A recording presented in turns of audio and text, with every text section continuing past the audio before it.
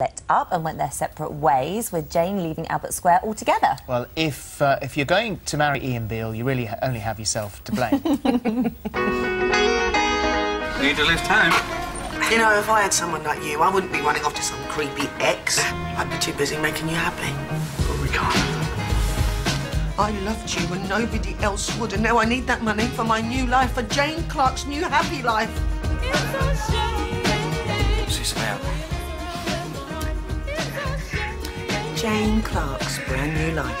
Hey, Zainab, do you want to know something? She's a cheat. Just like your husband. Oh, no one ever saw in you! A mug. When I found myself a little place, you can have another bedroom, a mummy bedroom. Then six months later, she walked back in again. Yes. Uh, the reason being, of course, and welcome, it's lovely to see you, um, you. that, that Ian is a bit distracted with obviously the wedding dress and the ring from Mandy, and, uh, and Bobby, little Bobby, disappears and goes to find you. Yes. And you're embarking, aren't you? Yes, that's right. Jane's embarking. Yes, and she's surprised to find him on her doorstep and just wonders why, how, when, Yeah. what's happened, and comes back to the square, and there's Ian on the square with a lady in a long white frock. and she sort of uh, thinks that there's a bit of a midlife crisis going on here for Ian, doesn't she? Oh, for sure. Uh, uh, Ian's been having a li- uh, midlife crisis since he got his leather jacket and his earpiece for his, for his phone. So that's been going on for quite some time. So, yes, nothing changes, and uh, he's still in the middle of it. And it's still in the middle of it, but also more importantly, she wants to, for Bobby to have both parents around, doesn't she? So she's she's coming back now to try and make this work for him, really, more than anything. That's right. Yeah, she's um, she's realised that obviously the you know, the separation was probably the best thing at the time, but for Bobby the, the time is right. Obviously, if he's travelled across London to see his mum, then something's got to, to happen. Really, he's, Well, it's they've his been, happiness. they've been in contact off screen, haven't they? So there Yeah. has been discussion. Yeah, between there's them. been mentions of, you know, uh, Bobby's been dropped off at Jane's and, and, and, and that sort of thing quite a few times. So the, the, the contact's been retained, yeah. So she's walking into all of that, but in tonight's episode, she also arrives when there's a huge commotion going on in the square as Phil is smashing up Christian's car. yes. No, So- yes, and Christian's flat, yes. Yeah. Yeah. Um, well, it's Phil Mitchell grand style, isn't it? And but it is her brother, and um, So, yeah. she's back to um, bit bit super Jane. She puts her super pants on and tries to help the We- day. Welcome back. We've got a bit of a clip from, uh, Oh. from tonight. Here you go.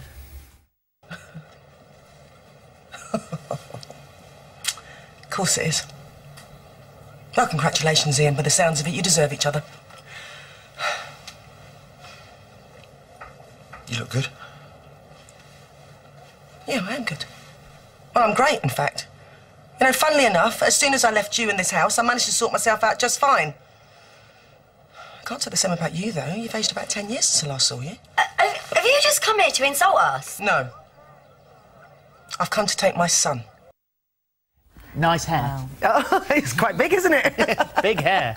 We should say, I think it said 7.30 there, but it's 8 o'clock. Uh, Uh, uh, on a. Thursday, no, s- uh, eight o'clock on a Thursday. I think it is. Yeah, Yeah. it does say 8, I think. Um, and also the other reason we're very excited about her coming back is because this time her and Masood are both single. They've sort of been pinging backwards and forwards, sort of going, oh, you know, that it's been bubbling under the Yeah. surface. They've had a bit of a kiss, but they're now single. Yes. So, come on, if ever this is going to happen, this has got to be it, right? Well, yeah, the whole, the whole Masood Jane thing was all started off as a, like a butterflies thing, you know, where they just meet up and talk and. The 1970s Yes. sitcom with Wendy Craig. yes, absolutely. Wow. And that was the whole sort of little starter for that.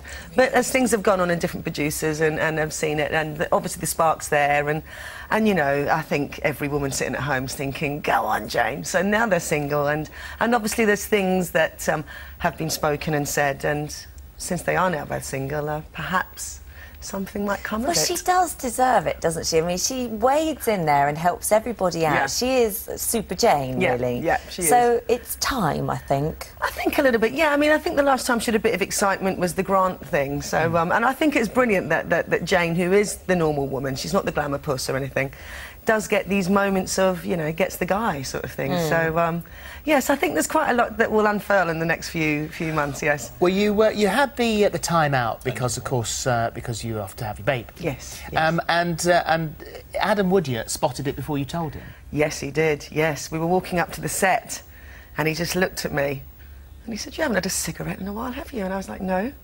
And he said, "Are you pregnant?" And I said, how do you know? He went, no, I've seen it a million times before. I saw it with Michelle, I saw it with so-and-so. So, so, so yes, he, um, yeah, he absolutely did spot it, yeah. So you and you had your baby not that long after me, did you? When? when- No, uh, May, May the 3rd, yeah. May the third. Yeah. And how's it all going? It's going really well. She's amazing. I just can't believe it. And the time goes so fast, doesn't it? Yes, it just it really goes so fast. And uh, um, incredible time that, that we've had with her and my mum and dad. You know, they didn't think they were ever going to be grandparents. I don't think, but so they're they're over the moon. You know, Oh, loving it, loving it. And is it is it tough going back to work, or have you sort of managed to? Yeah, I mean, it, it's such a, um, a, a hamster wheel to run on EastEnders. You know, it's such a massive machine. The, the hours are so long. So, um, you know, I've, I've decided just to go back for for a, a few months and, um, and and give myself a bit of flexibility after that because I don't want to miss the whole first year and, No, and everything that happens uh, with, with, with a baby within that. I think if I've waited this long to have one, Yeah. then I should enjoy it, you know. Definitely. So going back for a few months and, um, you know, they're, they're not going to bump her off, I don't think. So the door, the door will be left open. Well, she'll be back something in the barking future. in three months, won't she? yes. Is that what that? So, so how much can you tell us then in that case? If you, she's there for she's there for three months uh, and the and the door is left open. So who, you know, the, the, who knows what may happen in the next She's going to get with Masood, and they're going to run away and elope and get married somewhere. This is in my mind. And then do a spin-off And then, series. yes, Yeah. and have their own life, and then they'll come back and they'll have kids. Is that what it is? Is that That's, what that's, Spot on. that's exactly what it is. Yeah. Watch this space. And so, so you're you are the, you're the queen of accents as well, aren't you? You are very good at picking up. One of those people who, if you Yeah. hear an accent, you pick it That up. is such a great skill. Yeah, I mean, I can. It's, um, it's it's caused me a few problems with Australian friends and stuff, and you know, you're out with for a drink or Irish. I, I do just start to sort of lilt into it, but I mean, because I'm of course Scottish, so.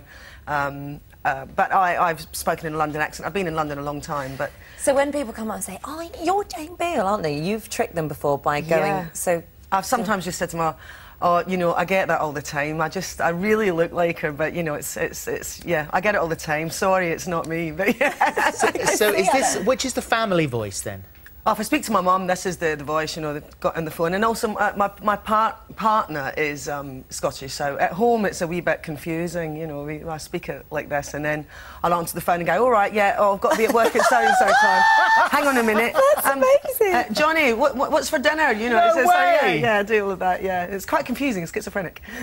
I love it. Um, thank you so much for coming Thank today. It's Thank lovely you. to have you back. Uh, Very nice Nice to be to here. see you. Thank Yes, you. congratulations. Thank you.